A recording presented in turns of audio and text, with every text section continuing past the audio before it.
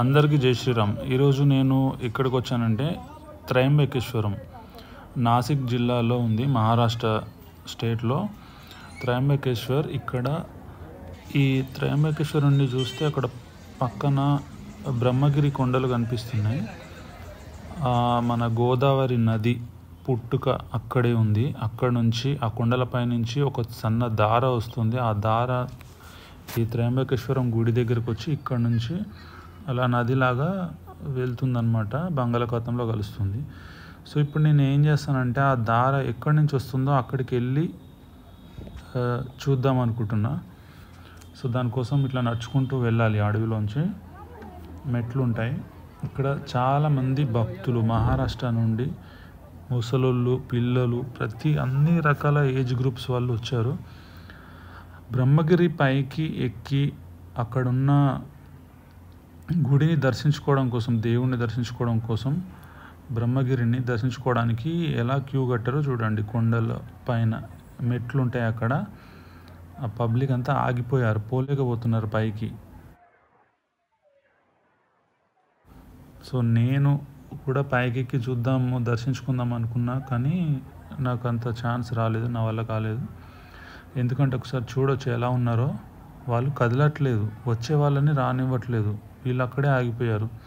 ఈ సాయంత్రం దాకా కూడా వీళ్ళు ఇలాగే ఉంటుంది అని చెప్పి అన్నారు. సో ఈ పబ్లిక్ని చూసి మళ్ళీ నేను ఇక్కడ నుంచి ఆ బ్రహ్మగిరి పైనుంచి కిందికి వస్తుంది కదా గోదావరి నది అదే దాని అక్కడ ఆ స్పాట్కి వెళ్ళడానికి నేను వెళ్తున్నాను అనమాట ఇప్పుడు పక్కన. అదేంటంటే గంగాధార అని చెప్పి అంటారు. సో అది పైన కొండపై నుంచి దార వస్తుంది. ఈ సీజన్లో అక్కడ ఎలా ఉంటుందో చూద్దాం. ఆ దారి అక్కడికి వెళ్ళడానికి ఇప్పుడు నడుచుకుంటూ వెళ్తున్నాను. ఇక్కడ ఈ దారిలో అన్నీ కూడా మామిడి చెట్లు ఉన్నాయి.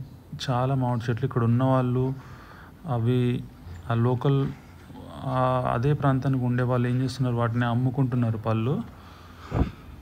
ఇంకా కలింకాయలు ఇవి కూడా పళ్ళు అమ్ముకుంటున్నారు.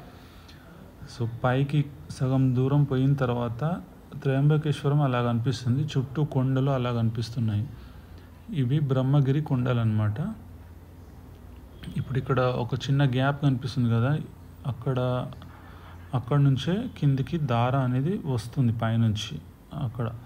సో అటు నుంచి ఇటు ఇంకొంచెం పక్కకి వెళ్తే ఇక్కడ శివలింగం అనేది ఉంటుంది అటు సైడు. వీళ్ళు వెళ్తున్నారు కదా అది. సో అక్కడ శివలింగం అనేది ఉంటుంది. గుహ లోపల ఒక బండరాయిని లోపలికి చెక్కారనమాట అంటే న్యాచురల్గా ఏర్పడ్డ గుహని కొంచెం వెడల్పు చేసి అక్కడ పెట్టారు శివలింగాన్ని. సో పైనుంచి చూస్తే నాసిక్ నుండి వచ్చిన దారి రోడ్డు ఫోర్ లైన్ రోడ్డు కనిపిస్తుంది. ఇది ట్రయంబకేశ్వరం సిటీ. ఇందులో చెరువు ఉంటుంది. ఇది ఇది ఒక భక్తులతోనే ఎప్పుడు కిటకిటలాడుతుంటుంది ఈ పట్టణం. నేను కూడా చిన్నప్పుడు పుస్తకాల్లో చదువుకొని విన్నదే కానీ ఎప్పుడు చూడలేదు. సో ఇది ఎందుకంత గొప్పది అని తెలుసుకోవాలంటే ఇక్కడికి రావాల్సిందే.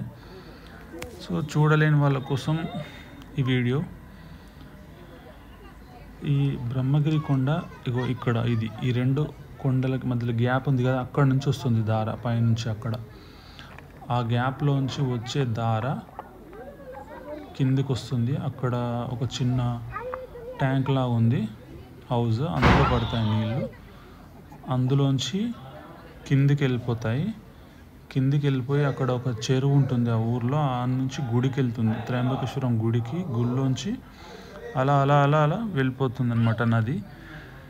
ఇదన్నమాట. అక్కడ కనిపిస్తుంది కదా చెరువు. ఆ చెరువులోకి వెళ్తాయి ముందు. అక్కడ గేట్స్ ఓపెన్ చేస్తే గుడికి వెళ్తాయి గుడి దగ్గర కనిపిస్తుంది మళ్ళీ చిన్న నది. ఇది అన్నమాట. ఇది తూర్పు వైపుకు ప్రయాణిస్తుంది. యాక్చువల్గా ఇది ఎండాకాలం కాబట్టి ఇది ఇలా ఉంది ఎండిపోయిన గడ్డి అలా. కొంచెం చూడడానికి అలా మామూలుగా ఉంది. కానీ అదే కొంచెం వర్షాలు పడిన తర్వాత పచ్చదనంతో బాగా కనిపిస్తుంది అన్నమాట సో మళ్ళీ కిందికి దిగిన అనమాట నేను. దిగిన తర్వాత పైకి చూస్తే కొండ దగ్గర నుండి అలా కనిపిస్తుంది. సో మళ్ళీ అక్కడ నుంచి నేను వేరే సైట్కి ఆఫీస్ వర్క్ మీద వెళ్ళాలి కాబట్టి బస్సులో వెళ్తున్నాను. వెళ్తుంటే ఇవన్నీ మహారాష్ట్ర అన్నమాట. ఇవన్నీ కొండ ప్రాంతాలు. వెస్టర్న్ ఘాట్స్ అని చెప్పాను కదా. వర్షాలు పడిన తర్వాత వర్షాకాలం చలికాలం చాలా బాగుంటుంది ఇక్కడ ఒక ఎండాకాలం తప్ప. మిగతా ప్రాంత మిగతా సమయాల్లో ఇక్కడికి వచ్చి చూడొచ్చు. చాలా బాగా నచ్చింది నాకైతే.